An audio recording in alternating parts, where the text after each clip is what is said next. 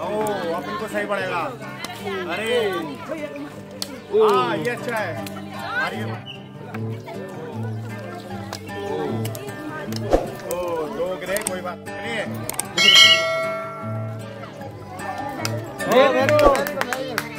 क्या बात है।